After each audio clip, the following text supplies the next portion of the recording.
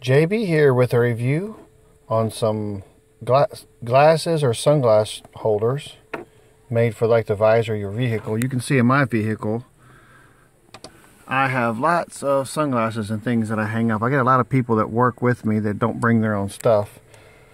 So basically, let's take that one down. It just pops on here.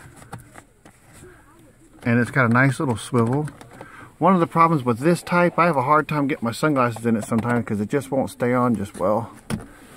But the way these work, you just open them up, pop them in, and they hold them in place.